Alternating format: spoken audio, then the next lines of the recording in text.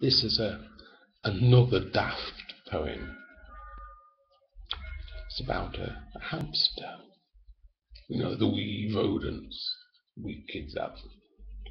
Okay. The hamster.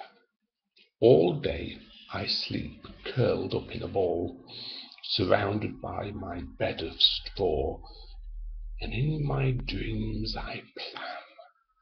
Then at night, with cheek pouches full, I awake to take over the world. Behold my mighty works and despair, I squeak, as I head for my wheel.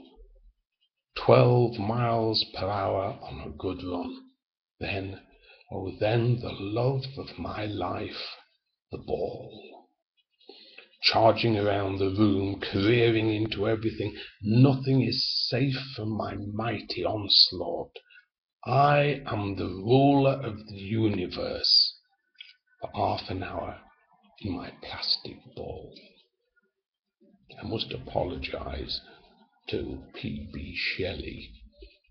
Behold my mighty works and despair.